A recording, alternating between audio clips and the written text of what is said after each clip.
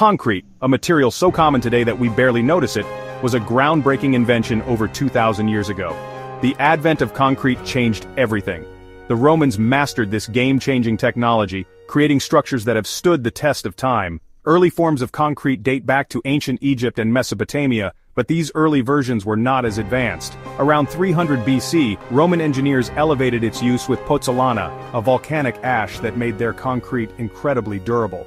This ash, when mixed with lime and water created a strong, long-lasting material. Thanks to this innovation the Romans built architectural marvels like the Pantheon, whose unreinforced concrete dome is still the largest of its kind, and aqueducts that supplied water to entire cities.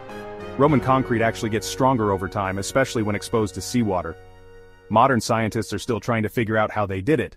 They have discovered that the Romans used a combination of materials and techniques that created a self-healing concrete this has inspired new research into creating modern concrete that can mimic these properties. Today's concrete is inspired by those ancient techniques but many experts believe Roman concrete was more sustainable and long-lasting.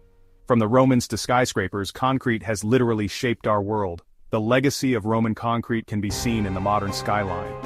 What other ancient inventions might hold secrets for modern technology? The study of ancient engineering techniques can provide valuable insights into creating more sustainable and resilient materials for the future. Hit the like button if you're fascinated by ancient engineering, and don't forget to subscribe for more amazing historical firsts.